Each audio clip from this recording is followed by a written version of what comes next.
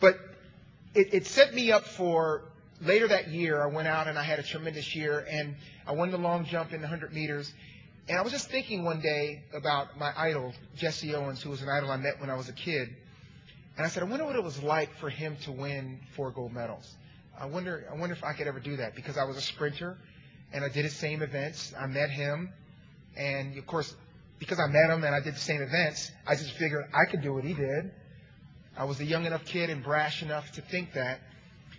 So I went to my coach and I said, What do you think about me trying to do all four of those events in 84? This is 1981. And he says, Well, I don't know. It's, it's going to be a tough thing, but if you want to do it, we have to plan it out now and start thinking about it right now and, and try to do it. So I said, Well, well let's, let's just see how it is. And I, I really like to do that. Well, I started to talk to everybody and different people, and everyone said there's absolutely no way. It can't be done. You'll get injured. You can't do it. You can't make the team. And so I heard three years of it just can't be done. But what we did is we set a plan, and it was a it was a plan that each year I would add another event. So I was number one in the world in the 100 and long jump in, in 81. Then I added the 200 the next year. Then I added all three of them the following year. Then it was the Olympic year. And I had to focus 100% on what I had to do. The training focus outside of the track, no distractions, because I had to make sure that everything was right in order to achieve that. And I had to execute because the 100 meters and the 200 meters are totally different events, even though they seem the same, but they're totally different. And the long jump is different altogether. So what did I do? How did I figure out a way to make sure those events are different? Well, I had different shoes for each event. The 100 meters was one pair of shoes, the 200 was one, and the, and the long jump was a different one. So my focus became whatever shoes I wore, that's where I put my energy. And then believe in yourself no matter what. Because I always had a, I always had a theory that you're never going to win all the races. And people all the time say, gosh, we never saw you lose. I had a theory. You're going to lose races. We all know that. We've all lost competition. We've all lost races. But my theory was never lose on TV, since people don't know that you ever lose. So make sure when there's a television camera there, you're always ready to rock and roll, okay? So I might have been like 48%, but I was 98% on TV. and, and then surround yourself with people that have the same type of motivation and attitude and focus. Whether they're at your level, whether they're better than you or not as, as, as good as you, just as long as they, they're motivated to be the best they could be. So I had teammates. And so it went year after year where we just focused on these events. And then all of a sudden I came up to uh, 1983 and I competed at the Nationals and I won all three of those events. And I didn't go to the World Championships and I just I didn't do the 200. So the year started off, can he compete in all four of these events? And it was amazing because the, the year started where I had a great season, indoor season, and then all of a sudden people said, well, that's a possibility. So it's funny how the question switched for can you do it to what do you think will happen if you only get three? Think about this, people. Stay with me now. People were asking me, would you be disappointed if you only won three gold medals? And, and I was just trying to figure out, I mean, how did we go from, I mean, winning, going to the Olympics is a great thing, and all of a sudden we're saying you'll be disappointed with three gold medals. I, I didn't get that. But that's where, that's where it was, and that's where it was able to raise the expectation because of just mapping out this plan and focusing on winning the, the competitions and not, not getting wrapped up into every little meet or that great payday, but just really sticking to that plan and sticking and staying focused. So I, I go to the Olympic year and I get to the Olympic trials, and it was the first time when I realized after the trials I won all three events that I could actually do this thing. So when you go to the Olympics, it's a whole different thing. And I remember walking into the stadium for the first event, and of course it was nine o'clock in the morning, and the stadium was full, and there were 90,000 people there. And one of the athletes, who was a, was a gold medalist, I believe, in 76, Hasely Crawford, was in, in my first round heat. And he says, wow, look at this. It looks great here. And I said, oh, yeah, we do this all the time. You know, 90,000 people are always watching track meets.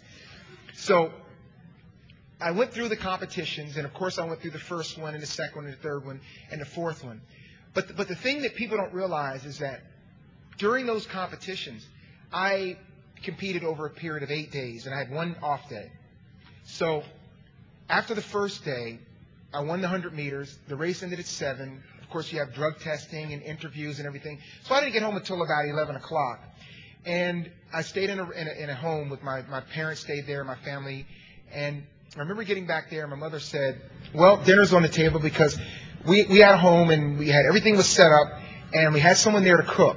Okay, so we get in there, and this this woman comes in ready to cook our food and everything. My mother's like, "What is she doing here?" I said, "Well, she's going to cook and clean and everything." And she said, "Excuse me, I did it all the way. She can clean this house, but I'm cooking this food. All right." So I have dinner and I set my medal down and go to sleep because I had a 10 o'clock in the morning competition in long jump, and we have to be up four hours early. So I go to bed at 11. I have to be up at 6. Now, think about this. I just won the Olympic gold medal in the 100 meters, and I, could, I didn't have one second to really celebrate about it. I had to focus on the next event. The minute that race was over, I was already thinking about tomorrow. And so the next morning, you're up at 6, you compete again, and it went on for an entire week of staying focused. And that was one of the four most important components of staying focused. It wasn't about, I couldn't celebrate until the last day because one little slip up, you're in the Olympics. You can make that mistake, you could lose the race. So I stayed focused all the way through here, and of course I went on to win the last, all four of those gold medals. And I remember of the four events, there was all a unique situation to them. Uh, the first one was the 100 meters. When I finished the 100 meters, I came up the steps and I went to Coach Tellez, and he went over to me. He said, "Congratulations!" and he went up and he hugged me. And he's right in my ears. He was hugging me. He said, "If you had really focused and come out of the blocks like you were supposed to, you would, you would have set the world record today." And I was like, "Oh, that's interesting. I just won the gold medal." And, he, and here again, it was back to staying focused. And then he said, "Congratulations, good job." But it was that little subtle thing of like, keep your mind focused on the event. That's what he was really telling me in his own subtle way. The long jump, he said, I want you to, to go out and take one or two jumps, that's it, and rest for the next event. After you get two of it, I want you to jump well in the first event, first jump, get it over with. So we did that. So he said, okay, you did that well. The 200 meters, he said, control the turn. Make sure you control the turn, be in the lead because they'll be worried. So every single thing was, it was, it was thought out and planned out and, and, and I had to do it that way. And in the relay it was great because America was the best team. And the only thing I had to do was take the baton and not drop the stick. Could you imagine having three medals and I get the stick and we're 10 yards ahead and dropping it? Um, so being a champion is so many different, so many different elements. It's staying focused. It's hard working. It's having good teammates, people that are around you that can help you succeed. Also, people telling you the truth when you're not doing what you're supposed to do. Those are all elements that are so, so important. And I, I just think that without that environment, without my coaching, there's no way I would, it would have happened for me. And I, I feel very fortunate about that. And so when I go out all the time, I, I talk to kids and I talk to people, and I remind them of something, and I'll close with this. I remind them, I, I say this one thing. I say, if life was easy, everybody would be good at it. It isn't supposed to be. So take on the challenge of being the best you can be because that's how you become successful. Take on the challenge of being the best you can be. And the last thing, make sure you always look good on TV.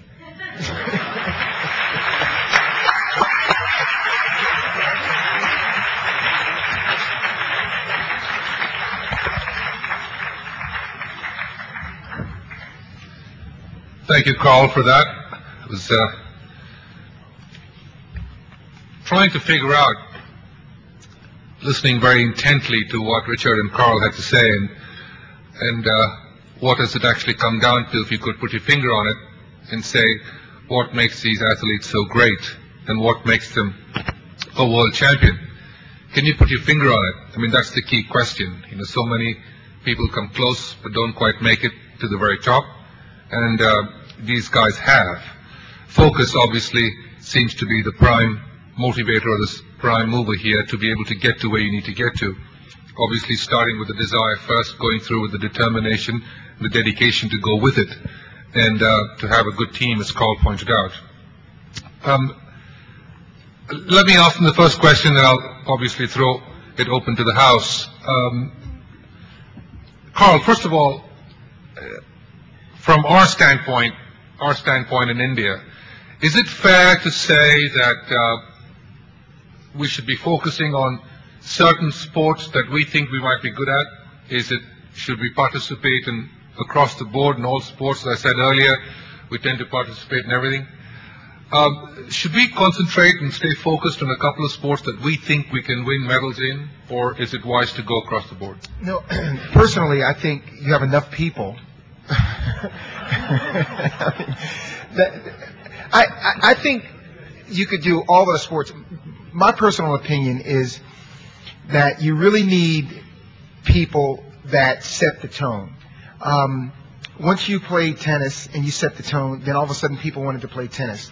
If we didn't have people out there playing cricket that they admired, then we wouldn't be great in that in that sport.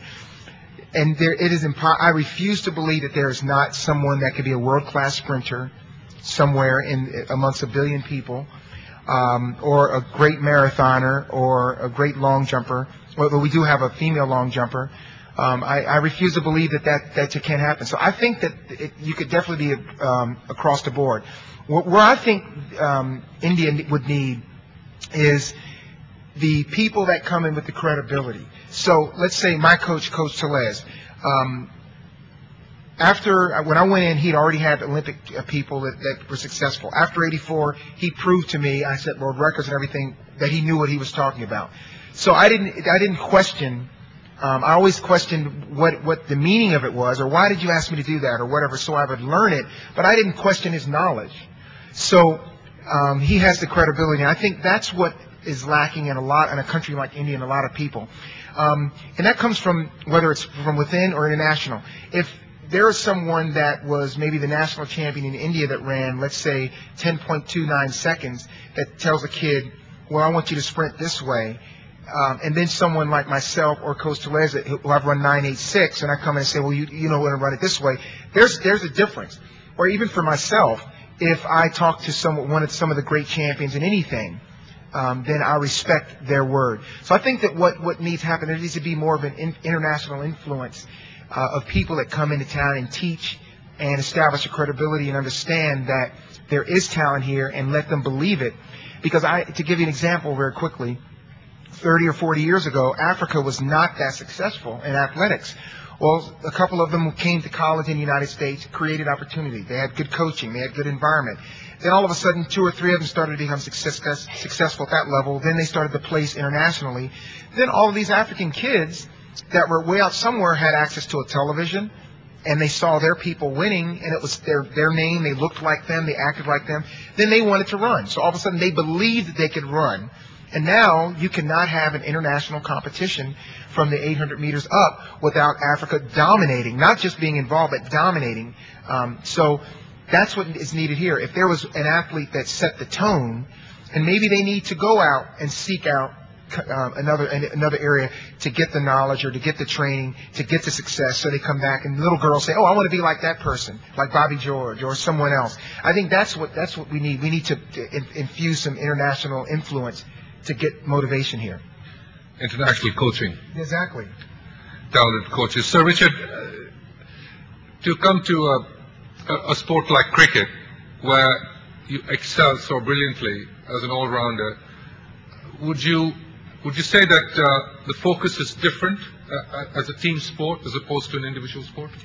Well, I'm on record as saying that cricket is a team sport, but it's also one of the greatest individual sports within a team because clearly 11 people are going to take the field of play, but in cricket it's a one-on-one battle between the bowler on one side and the batsman on the other side.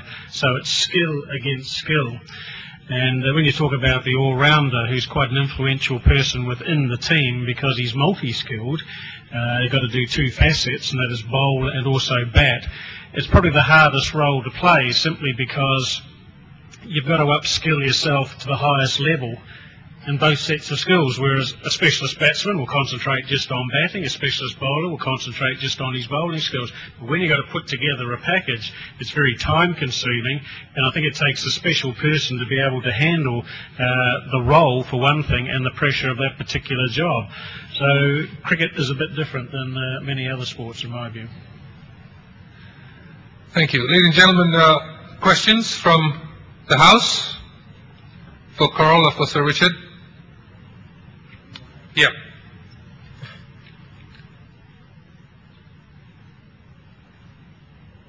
Right behind you. Right behind you. Hi, my name is Naveen Gupta. Uh, both of you mentioned that uh, the two key ingredients for success in sports are focus and mental strength.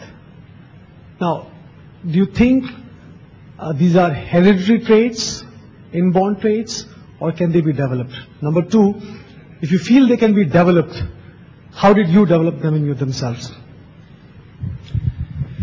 I think uh, you learn by your uh, mistakes, and when you come into international sport, you want to be successful. And I remember as a youngster, I was 20, 21 when I first started, and I thought, here I am playing international cricket, playing for my country. Hey, this is great, I've made it.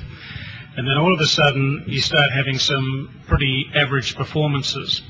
And then you think, well, why am I not competing? Why am I not doing as well as other people? And then you start sort of thinking, well, maybe I've taken some shortcuts here. Maybe I haven't worked hard enough. Maybe, um, you know, I've got to work more on my fitness, work more on my training, diet. Maybe I've got to be mentally better. Now, for me, you can have all the skills, all the talents, all the abilities. But unless you've got something here in the head which complements uh, those things, then you're only going to be half a person. And um, to me, it's a whole package. And you've got to put it all together. And um, I felt over a period of time I got better at that. Uh, I think when you're a youngster and, and an amateur sports person, you tend to be very inconsistent and erratic in your performances. Um, when I'm talking about professionalism, I'm not talking about money. I'm talking about preparation and attitude and doing the right thing, the sacrifices that you've got to make, the repetition, upskilling, uh, team player, all those sorts of things. Uh, put the whole package together. You miss one of those elements and you're going to be lesser uh, of a performer. Yeah. Have a microphone here, please. Oh, go ahead. Okay, go ahead. Yeah, uh, um, from what I heard, it seemed almost like preparation for war. What both of you discussed about the way, you know, everything had to be just right. The focus had to be always there. There was not a minute to lose. You had to look behind your shoulders, etc., etc. I was just wondering, what is the role of serendipity and luck in your success? Because surely there were many, well, at least a few others were almost as good as you. That's the first part of the question. Why are you looking at me when you said that? All three of you. It's to all three of you. And the second part of the question is, you know, you were great, you did all this, we really respect you. What keeps you as champions today? Because clearly you're still champions. What keeps you going as champions today? So two-part question.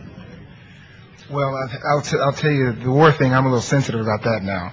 Um, but no, I, I- think that the thing is, is that it's and it, and it adds to what Sir Richard was saying. It's what that comes what comes from that is confidence.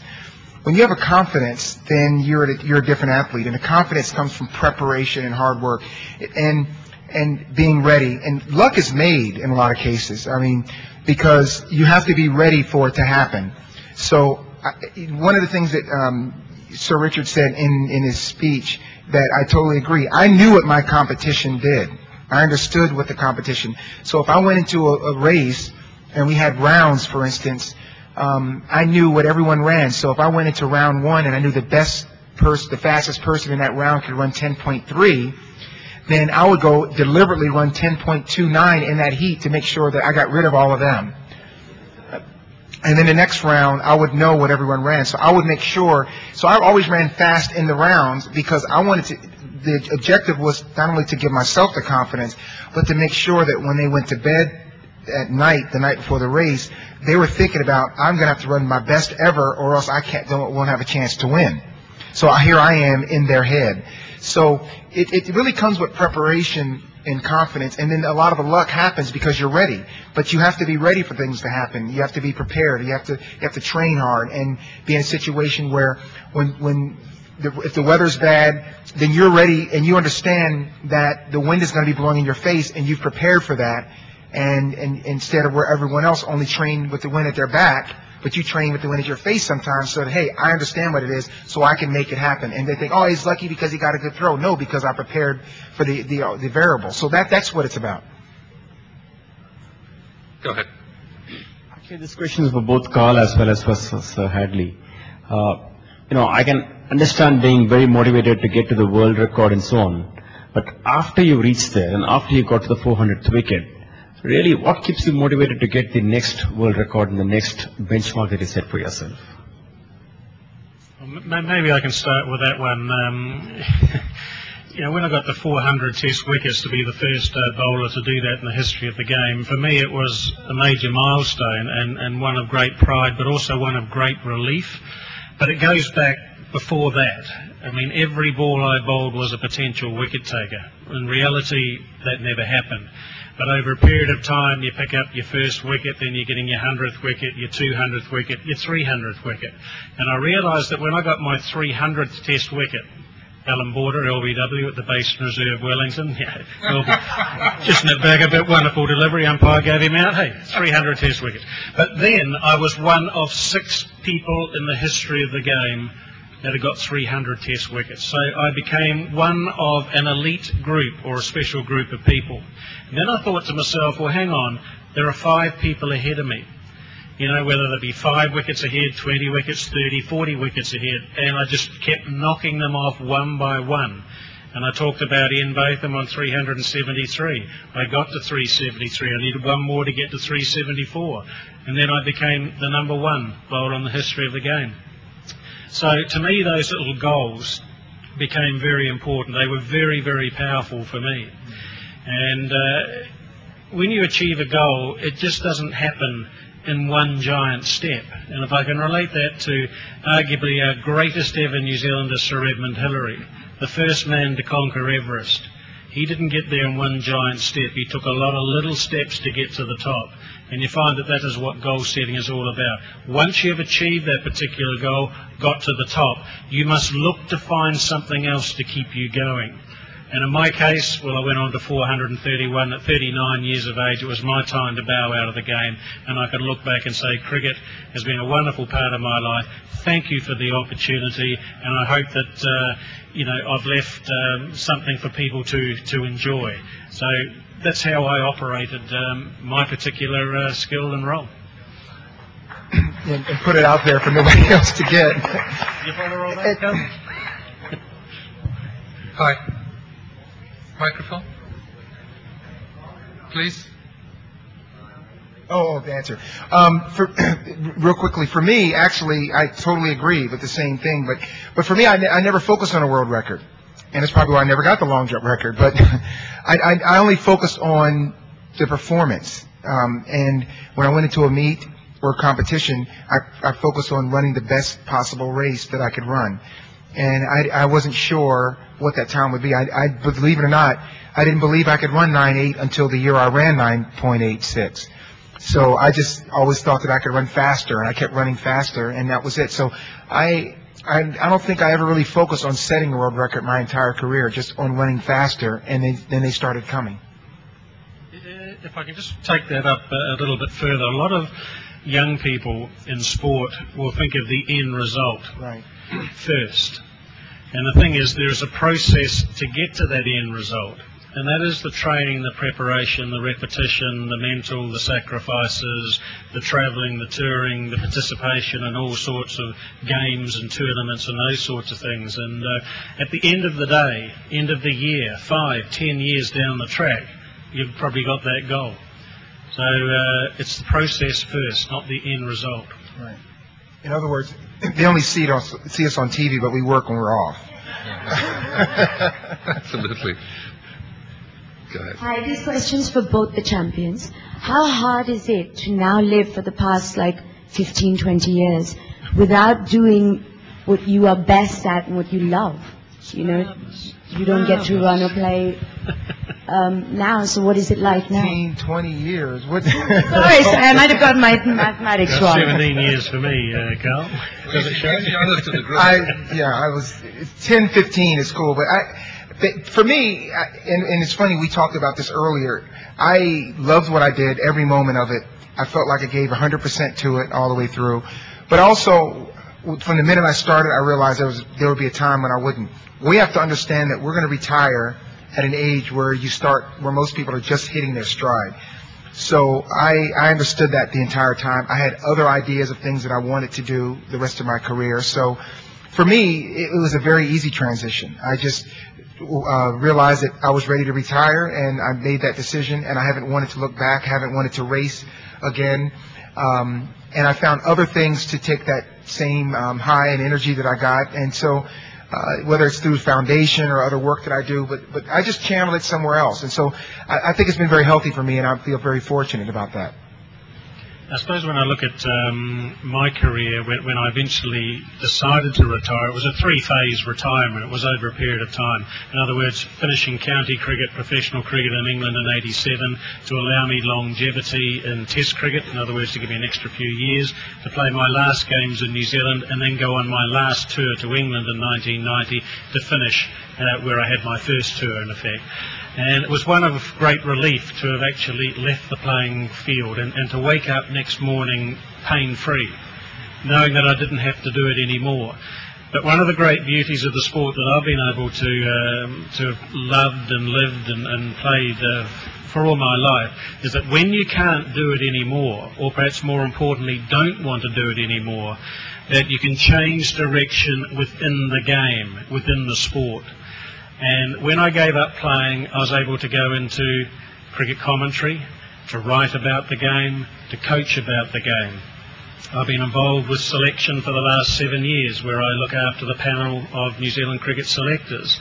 And uh, perhaps more importantly today is to now manage our New Zealand A team. It's the next best players coming through. So to take them on tours to places like India, to Sri Lanka, to Australia, and to be with those young players to uh, help them progress and hopefully make the international team in a period of uh, time, hopefully a short period of time.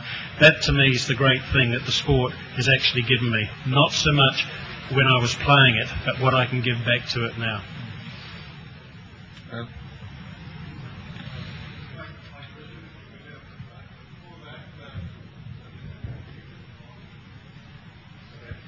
Can India win the World Cup? Is that the question?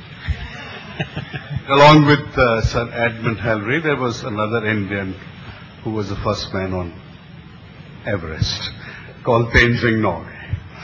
Uh, Vijay, I want to know that India, when sport bodies are in the hands of politicians and bureaucrats, are we going to produce gold medalists and champions? Well, I think the easiest thing for me to do, since I'm not the person to answer the question, it's easy for me to pass the buck. but, but uh, to address the question, we all know that it needs to be incredibly focused and very professional. And uh, what Carl and Richard have pointed out very clearly here is that incredible amount of uh, uh, teamwork that goes into making an individual great and how you can channel that focus and determination and all of the above to create your own luck. Now, Carl mentioned the issue of uh, you're creating your own luck. I believe that uh, I believe that you do need divine intervention to cross the hump at the very end. And uh, irrespective of how well you played, you're still not going to win unless you have a little bit of that divine intervention from above. And uh, but to answer your question, I think the important thing as far as the um, uh, performance is concerned of an athlete in the country, the important thing is to leave it in the hands of professionals. Um, if uh, my good friend uh, Nandan was not running an incredible company like uh, Infosys, it was someone else's hands, like you or me, we'd run it into the ground pretty quick. Um, we are very fortunate, at least we are very fortunate in India that he didn't compete in tennis when, when, when I was playing because I wouldn't have been the best here. So I think it's very, it's very important to have the kind of professional attitude that business, corporate executives bring to business as we should in sport. And we've got to treat it the same way. The uh, uh, unfortunate part about sport is, which we feel very strongly in India, is the fact that there are no guarantees.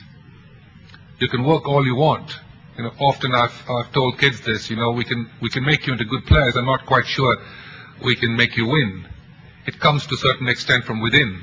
I mean, what these two athletes have delivered on their own is them being out there on their own. They do all their homework with coaches and trainers and dietitians and a variety of other uh, teammates. But at the end of the day, when Richard goes out to bowl, he's there by himself, up against someone with a bat. And similarly, when Carl's running, it's the same thing. So you're there by yourself, and nobody, nobody on earth can then make you win. It's just you and what it comes from within. And uh, that's sort of the hardest part from, from an Indian standpoint because we tend to, um, I often say this, you know, when, uh, when someone asks me in England, why do Indians not have great athletes? Is there a problem? And I said, yes, it's when the British left India, they left their attitude behind as well. So I, it's easy for me to blame them, which is the same reason they haven't had anyone win Wimbledon since 1935. So uh, I think I think we do have to get very very professional, and we and I do believe in the last 10 years or so we're getting there. If 10 years ago someone had said to me that we would we would have a young girl in women's tennis in the top 50, or we'd have a young man driving in Formula One, or we have a young man playing on the PGA Tour in golf in the United States, or we have a young man who's the world champion in chess, you know, we all would have probably laughed, and, and that has come true in the last five years. Yes. Uh, question to Carl Lewis, please. Carl, uh, you came through the system with a bunch of really talented athletes. Just to remind you of your 4 into 100 team, there was Willie Gault, Emmit King, and Calvin Smith. Now, what was the difference between you and them? I mean, you were all part of the same system, you all great athletes, all with great coaches, everything. What is the difference? Were you a better athlete, or was there something mental No, that separated you from them? That was that was where it started. He's right. I was better looking. I crossed the line first. No, I I, I think that that um, I th- th- there are a number of things. I mean, I felt I felt that I was a better coach because we had different coaches. Um, so I, I'm always going to say I thought my coach is the best because I, I can, but I, always had. I, guess at the end of the day, some of it's talent. Some of it is drive. I wanted to be the best I could be. I mean, there was nothing standing in my way and I, I even even the little things about um, the, the athletes' rights, I wouldn't allow that to stand in the way because I believed in that. So I, I was so driven and focused on what on being the best that I could be that I think that that really separated me from a lot of people, not everybody, but from a lot of people. And it wasn't just about in terms of just winning the competition, but um, changing rules because that was important to me. So it was it went beyond just being a good athlete. It meant pride because I wanted to leave something in the sport. And I know we talked earlier about the finances, but there are a lot of things that when I came into the sport, even the housing was was uh, deplorable that I refused to deal with. And we, we changed that, and we changed. They used to run rounds in every single competition, and I'm like, we're running two races three times a week. We, everyone's dead. So we said no heat, changed to to an ABC series. So there are a lot of things. I mean, I took so much pride at every level in the sport and I was driven so hard. I think that was a difference in a lot of cases. Um, and and, I, and another thing too is that I just wasn't afraid to try things. I think most people, and I know you can attest to this. I mean, a lot of people are just afraid to, to take a chance. I mean, to, to have the nerve to even try to, to compete in four events. And most people said don't do it, so most people would be afraid to even try it. They say you can't do it, so they stop. So you have to have the nerve to try it as well. So I just wasn't afraid, and that, and that came from my childhood upbringing, having the confidence and the family and the support that I could fall back on. So if I did lose that day or something happened or it wasn't a great competition, then it wasn't because I wasn't good enough. It's because it didn't happen that day. What did you do wrong? Work hard the next time. Make it better. Stay focused on what you're doing and not take it personal. One of the things, and I, and I can probably attest to the same thing, is I didn't I didn't dislike my competitors because my thing was that they wanted to win too. It's just that I wanted to win more than they did. It had it was nothing personal. I mean, everyone said I hate my. I didn't hate my competitors. I mean, there was no reason to. I had no issues with them. I just didn't. I mean, when we got on that track, whether they were my teammate that I trained every day or whether there was someone from around the world, I treated them exactly the same. But when we left, we hung out. So I was really driven to be the best that I could be, and that, that was a big part of it. Yeah. Um, could I say this that uh, Carl said something very interesting. He wanted a full-time job in athlete, athletics. Well, if um, I have two kids, one of them came and told me that, I would be pretty shocked. because um, I wouldn't know for a fact whether she would be able to earn her living full time. Um, I think our kids tend to fall between two stools. On the one hand, they have academics. On the other hand, they have athletics. Um, and in order to excel, I think you need to have focus, like you've said. But because of this peculiar situation where you don't know which way to go, a lot of our talent is lost. Uh, could you answer that, please? Yeah, well, um, in the United States, we have a unique situation where you can mix the two. I mean, the university system is great, and I'm not sure how the system works here. But the fortunate thing about it, the better athlete I became, the, the, the better opportunity. Because when, by the time I was a senior in high school, ready to select a college, hundreds of colleges were calling me and begging to give me a free scholarship. So in reality, um, education was important because my parents were teachers and that's just the way it was. I mean, we were going to be educated and going to college. So it, it was, it, the athletics became an opportunity to advance that as well. So I looked at them both as parallel situations. See, I don't see why if someone wants to be a full-time athlete, they cannot be a student. Um, people do it every single day in the United States, and you, you really don't have to make choices. And oftentimes, even people make choices in sports as kids, and you don't even know what your sport is. So I, I think the thing to do is encourage them to do everything, to try everything, because they'll figure out what they want to do. And, and, and at the end of the day, if someone has a dream, you can't step on someone's dream. And if, if they wanted to make that choice, then you have to say, well, look, there's also a sacrifice. Yes, if you want to go on and, and go that direction, that's wonderful, but um, get something that's going to help advance that. It isn't a thing where school or education is something to fall back on. It's something to advance it. Um, and I know college athletes in the United States that signed professional contracts with an X because they couldn't read. Well, that same person's broke and their lawyer's rich. So it just does the math. It's not about falling back on. But I think we should encourage to get to education and also advance in sports because you're not certain what, what, what where you're going to end up. Yes.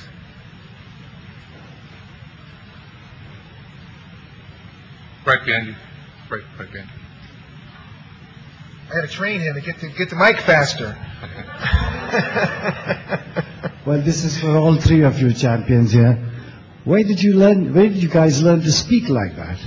And how much did you focus and concentrate? And how much did you practice today to outdo each other? No, no.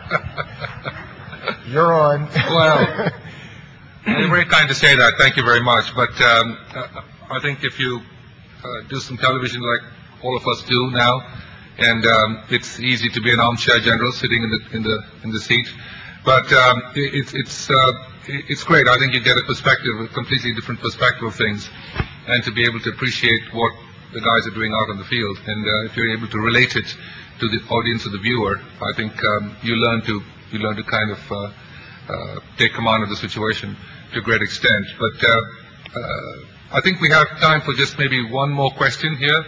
Um, May I? uh, okay, we've got three three people with their hands up here. So, uh, okay, the gentleman in the back, please. Sorry, just, uh, just okay. I'll tell you what. Let's let's finish with the three questions. Okay, just the three of them.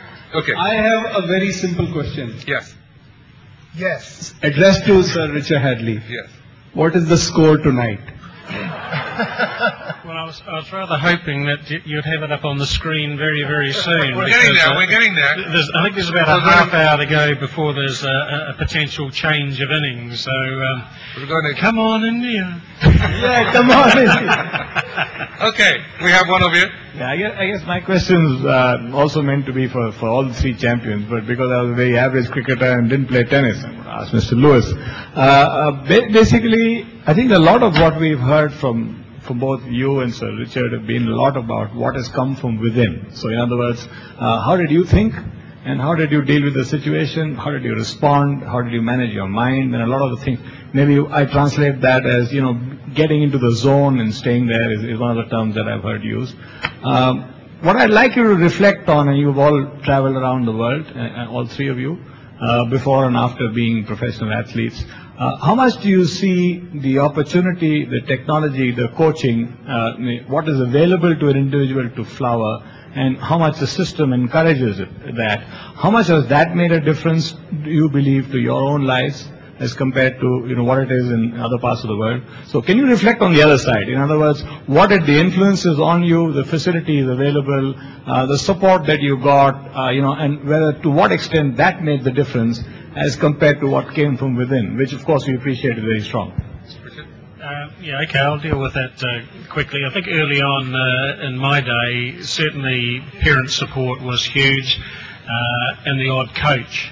But we played as amateurs away back in the 1970s and you had to do it yourself. Whereas today, if you look at a cricket team, you look at a rugby team, generally other sporting teams, you've got a coach, you've got a manager, assistant manager, you've got a mental skills trainer, you've got a, uh, a fitness trainer, you've got a physiotherapist, you've got a media relations person. In other words, the support team, you've got 11 players in a, in a cricket team. The support team's probably just as many. 11 in different strategic roles. And whilst they're all important and they've all got a key role to play to help a person perform, we didn't have those in our day. And, and basically we had to do it either individually to lift your performance or within the team that you had. And there is a danger today, in my view, that with all the support that is available, that the athlete, the cricketer, the athlete, is always looking around. Where's my physio? Where's my trainer? Where's my mental skills trainer? And there can be an over-reliance on all the uh, support network.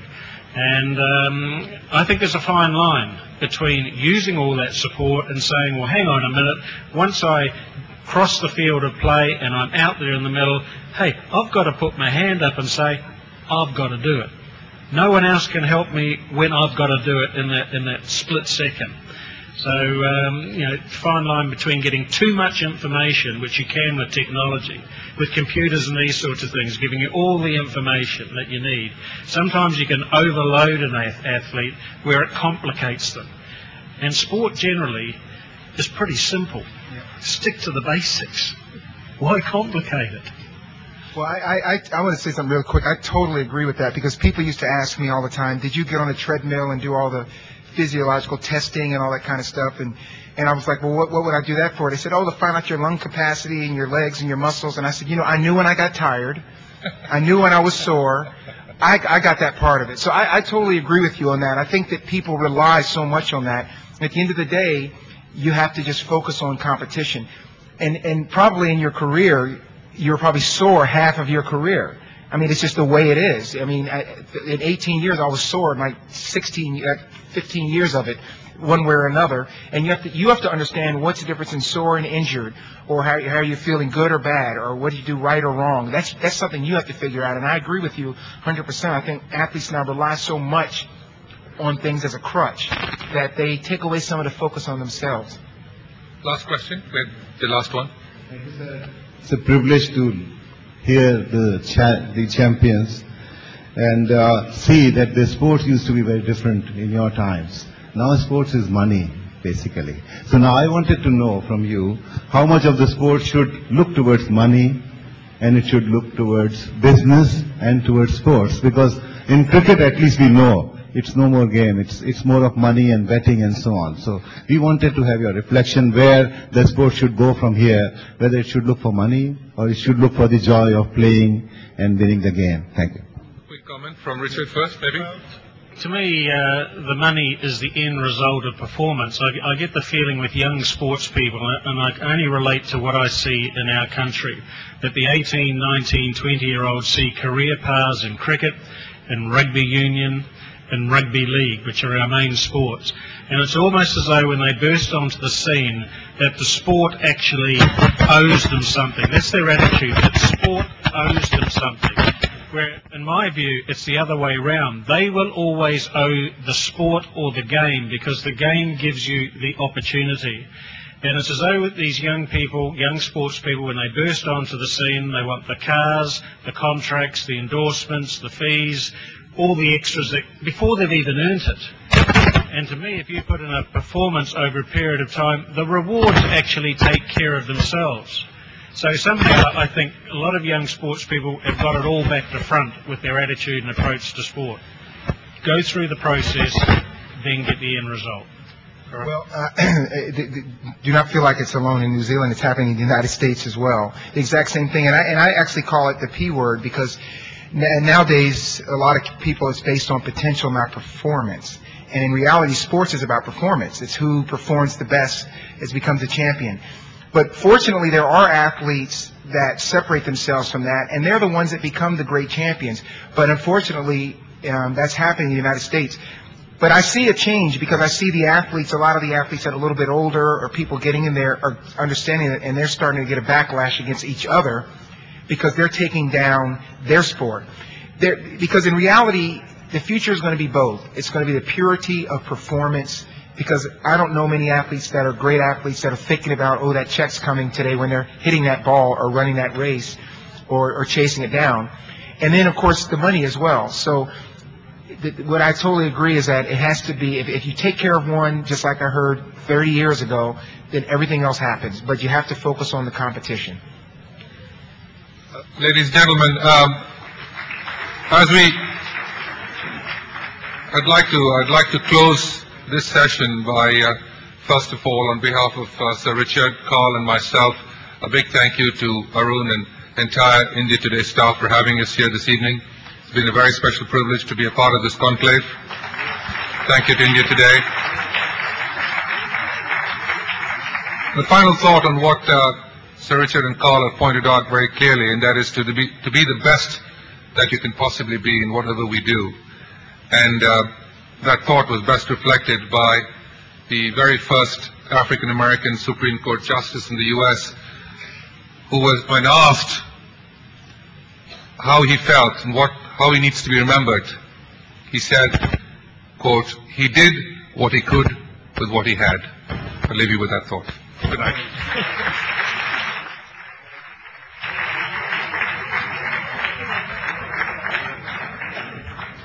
May I now request Mr. Arun Puri to kindly give away the mementos.